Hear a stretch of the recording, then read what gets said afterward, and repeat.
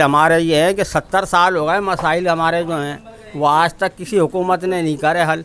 और आते हैं इलेक्शन से पहले बड़े बड़े दावे करते हैं बड़े बड़े चैलेंज करते हैं कि हम ये कर देंगे, हम वो कर देंगे। आज तक सेवरेज का निज़ाम तो सही कर नहीं सके सत्तर साल में ये, क्या?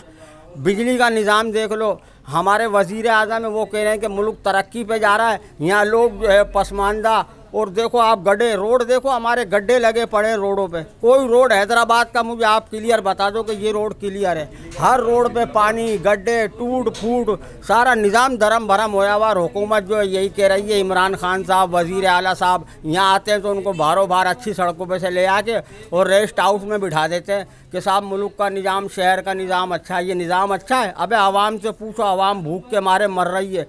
बेरोज़गारी तंग दस्ती परेशानी, और ये कह रहे हैं कि मुल्क तरक्की कर रहा है। ऐसे तरक्की करता है मुल्क। अबे भाई, आवाम को रिलीफ दो। रोज़गार मुहैया करो, कारोबार चले तो मामला हल होंगे मेरे भाई। ऐसे नहीं होंगे। बल्दियात का निज़ाम आ रहा है तो गली कूचों में जाके सड़कें बना रहे हैं, ना किस सड़कें बना रहे हैं, ना किस काम कर रहे हैं, और जो है दावे कर रहे हैं कि हमने ये कर दिया, ये कर दिया, ऐसा नहीं होता है मेरे भाई। मुल्क का निज़ाम चलाओ तरीके से।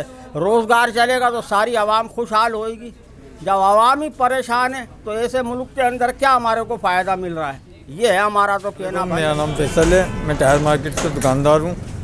हमारे हर दिन पानी भरा हुआ होता है गली के अंदर परेशानी होती है दुकानदार हमारे को सामान लगाने में सामान लगाने में परेशानी होती है ग्राहक आता है वो भी परेशान होता है। हम बहुत परेशान हैं रोज़ाना पानी भर जाता है नालियों से नालियाँ टूटी हुई हैं गटर लाइन सारे भरे हुए हैं कोई सफ़ाई करने नहीं आता एक महीना हो जाता है। हम कि, किसको बोलें? हम परेशान रहते हैं। हमारा कारोबार बंद रहता है। गवर्नमेंट को चाहिए हमारे लिए कुछ करे। नालियों की सफ़ाई बंगी वंगी भेजें। बंगी आते हैं देख के चले जाते हैं।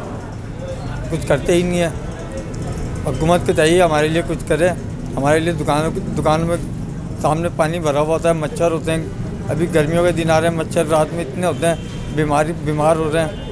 कभी बुखार हो रहा है कभी मलेरिया हो रहा है। अभी भी नज़ला खांसी हो रहा है।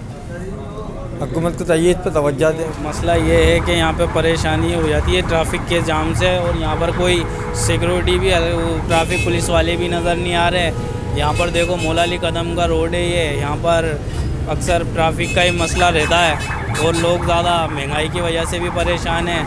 तकरीबन गवर्नमेंट को यहाँ देखना चाहिए।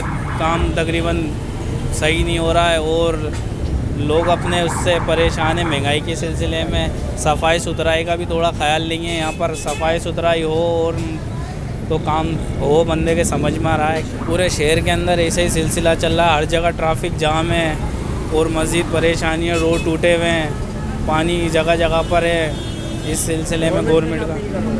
गवर्नमेंट से, हमारे वज़ीर अला से ये दरख्वास्त है हमारी कि यहाँ पर शहर की तरफ़ देखें, थोड़ी परेशानी है। यहाँ पर लोगों को ट्रैफ़िक जाम है, हर चीज़ है।